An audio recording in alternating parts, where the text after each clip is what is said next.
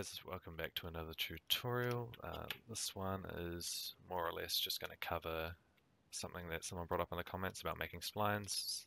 This is the example of what we'll be making. I'll just go through the blueprint to do it. It's like, um, it's, if you Google how to make a spline, it's pretty, like, I think it's something that's been covered a lot, but nevertheless, I will just cover it quickly in a video for you guys. Um, First thing you need to do is just create a blueprint. Pretty easy. Make it a actor.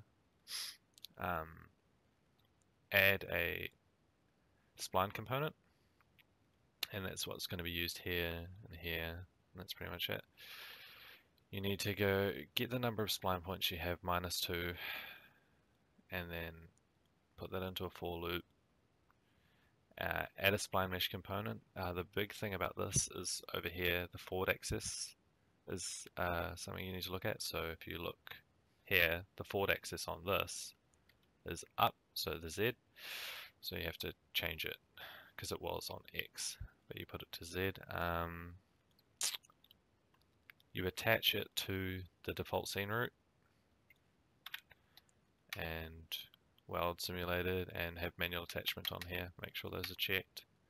Um, this is something that I wouldn't even use, but you can do. You can change the width and like in the length of like pretty much the entire scale of the spline that you're using.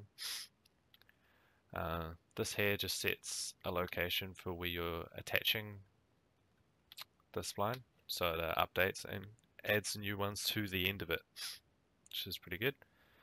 So, um, yeah, and what you'll get once that's done is a cylinder here, and you'll be able to click the end and extend it, and you'll also be able to change its rotation at that point. You'll also be able to extend it out further and right click in the middle and add a spline point and then stretch it.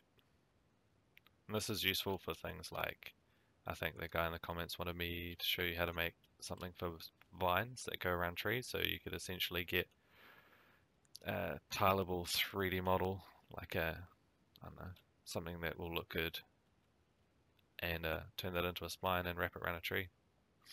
Um, I'm not sure, like, there's a couple of tips and tricks here. You, uh, when you click on here, if you change the transform gizmo, it makes it go along the line of where you're going. It gets pretty hard to, I don't know, add points when it does that sort of stuff, so you just change that. And yeah, um, thanks for watching.